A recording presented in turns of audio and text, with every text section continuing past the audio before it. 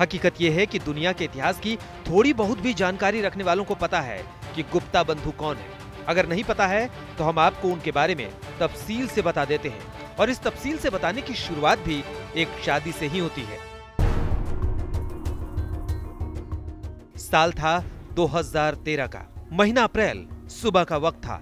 दक्षिण अफ्रीका की राजधानी प्रिटोरिया में एक एयरबेस है वाटरलूफ। एकदम हाई प्रोफ़ाइल जब कोई विदेशी राष्ट्रीय अध्यक्ष दक्षिण अफ्रीका आता तो उनके विमान को यहीं उतारा जाता। खूब सुरक्षा होती है यहाँ। इसी एयरबेस पर एक दिन एक airbase A three three zero two विमान उतरा। एक भारतीय एयरलाइंस कंपनी का प्लेन था ये। इसके अंदर करीब 217 लोग थे। सारे के सारे बहुत अमीर लग रहे थे। एक से एक खूबसूरत कपड़े गहने पहने हुए। ये सारे लोग एक शादी में शरीक होने आए थे। चार दिनों का प्रोग्राम था। सारे मेहमानों के रहने का इंतज़ाम किया गया था सन सिटी लग्जरी रिसोर्ट में। उन्हें वहाँ ले जाने के लिए एसयूवी गाड़ियाँ खड़ी थी। यहाँ तक कि मेहमानों के कारवां के आगे पुलिस की नीली बत्ती वाली गाड़ियाँ भी चल रही थी। ये सारे मेहमान एक ऐसे परिवार के थे जो देश के राष्ट्रपति को अपनी जेब में रखता था। ये मेहमान उसी गुप्ता परिवार के थे, जिनके इंतज़ाम आज आप औली की शादी में देख रहे हैं। जी हाँ ये गुप्ता बंधु रहने वाले पश्चिमी यूपी के सहारनपुर के हैं। इनके नाम है अजय गुप्ता, अतुल गुप्ता और Rajesh उर्फ़ Tony Gupta. No aircraft can land without permission.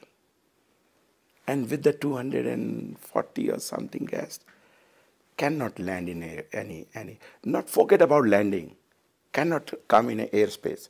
If this aircraft come without permission or without anything, it can be shoot in air itself.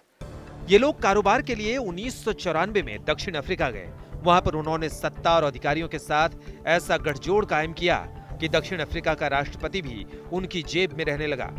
इनके बारे में 2016 में खबर आई थी कि अतुल गुप्ता दक्षिण अफ्रीका के सबसे अमीर अश्वेत बन गए थे।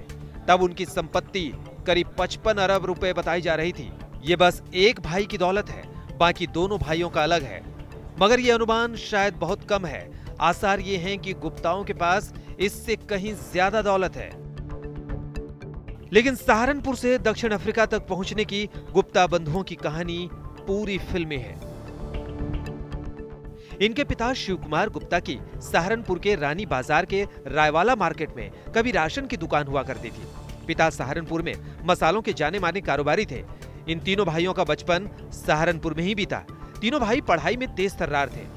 पिता शिव कुमार ने साल 1985 में मंझले बेटे अतुल गुप्ता को पढ़ने के लिए दिल्ली भेज दिया। पढ़ाई के बाद अतुल ने कुछ दिन तक दिल्ली के हयात होटल में नौकरी की और यहीं से साउथ अफ्रीका चले गए। अतुल ने कंप्यूटर का कोर्स किया था। पढ़ते यहीं थे और उसके बाद दिल्ली पढ़े हैं और वहाँ से उन्होंने देखो मैं तो मेरी उम्र से तो बहुत ज़्यादा है मेरी उम्र ही कुछ नहीं है उनके आगे। अब इतना तो मैं गहराई में नहीं बता सकता कि वो कैसे उन्होंने क्या किया लेकिन वो बाहर ही रहते थे ज़्यादातर। और काफ़ी टाइम वो लगभग बहुत टाइम से बाहर ही जाते थे। मतलब जब से उन्होंने जवान होने के बाद वो बाहर ही रहे हैं ज़्यादातर। तो इस तरह सबसे पहले अतुल गुप्ता दक्षिण अफ्रीका पहुँचे। रंग भेद के दौर से उबर रहे दक्षिण अफ्रीका में व्यापार के लिए अपार संभावनाएँ हैं। अतुल गुप्ता ने सबसे पहले अपना एक छोटा सा बिज़नेस यहाँ शुरू किया। बिज़नेस ने जैसे ही रफ्तार पकड़ी, अतुल ने अपने दोनों भाइयों, अजय और राजेश को भी दक्षिण अफ्रीका बुला लिया।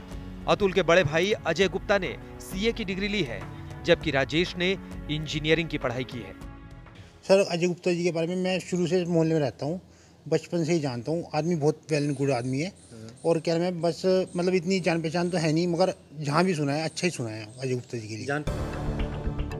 दक्षिण अफ्रीका के व्यापार जगत में तीनों भाइयों का बड़ा नाम है।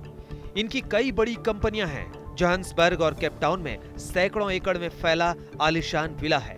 मौजूदा दौर में गुप्ता बंधु के दक्षिण अफ्रीका में computing, mining, air travel, energy, technology और मीडिया का बिज़नेस फैला हुआ है। कामयाबी के बाद गुप्ता बंधु का नाम विवाद से जुड़ गया। आरोप है कि दक्षिण अफ्रीका में कभी बहुत लोकप्रिय रहे पूर्व राष्ट्रपति जैकब जुमा को। इन भाइयों की वजह से अपनी कुर्सी गंवानी पड़ी। जुमा के कार्यकाल में गुप्ता परिवार पर सरकार चलाने का आरोप लगा। आज भी इन भाइयों के खिलाफ घोटाले की न्यायिक जाँच चल रही है.